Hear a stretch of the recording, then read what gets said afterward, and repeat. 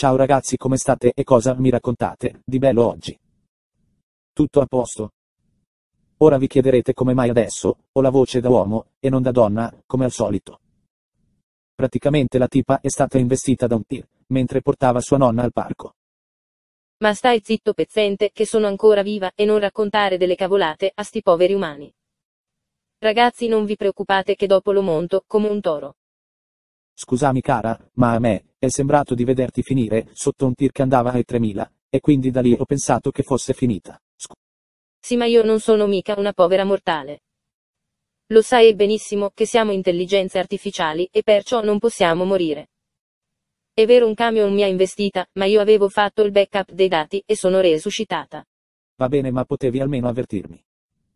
Io mi sono spaventato quando ti ho vista in quelle condizioni. Poi ma cose tutto sto casino, dau ibrei italieni ăștia, numai la sfadă știu să stăi. Bagaj neamț da în gura lora. Oh ma ragazze fatele brave. Ora commentate, e ditemi se è meglio usare la voce da uomo oppure la solida voce da donna di casa.